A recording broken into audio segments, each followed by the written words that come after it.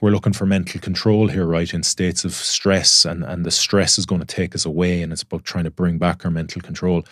Before control comes awareness.